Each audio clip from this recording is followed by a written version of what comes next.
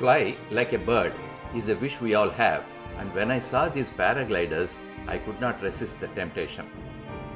I have my wife with me, and both of us decided to have a go. It is a clear sunny day with more than sufficient wind, and the takeoff is smoother than I expected.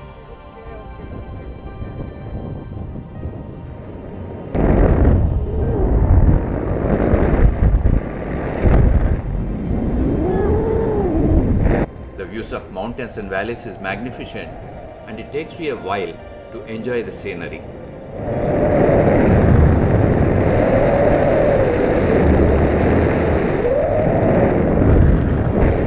The only thing of bother is the wind, which is fierce and made a howling sound.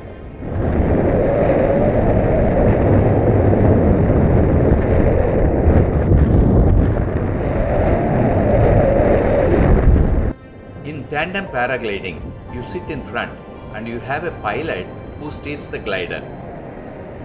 He controls the speed, altitude, and circles the area by manipulating the controls. Irrespective of the direction of the wind, he covers the whole area, and that needs a lot of experience.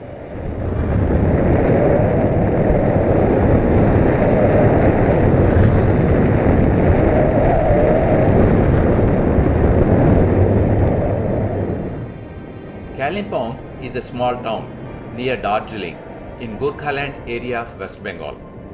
It is famous for beautiful landscapes, views of Himalayas, and adventure sports.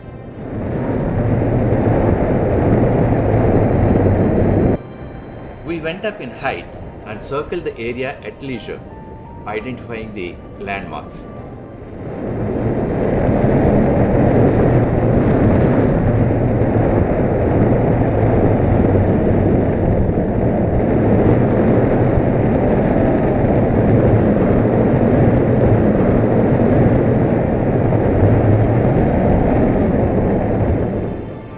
Now comes the most difficult part the landing. The glider doesn't have any wheels. Your legs are the landing gear. You need to control the speed and altitude to land. Your speed is important because you don't want to land too fast or too slow. If you are fast, you can overshoot the landing zone, and if you are slow, you may end up well short of it.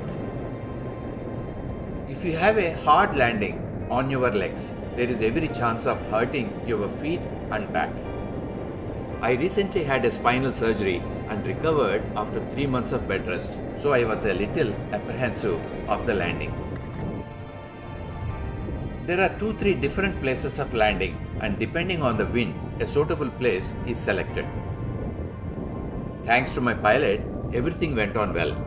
He managed it so smoothly, I was up and walking in no time. Flying like a bird is fun, and paragliding gives you that experience. Flying for 15 minutes can give you memories of a lifetime. Thank you.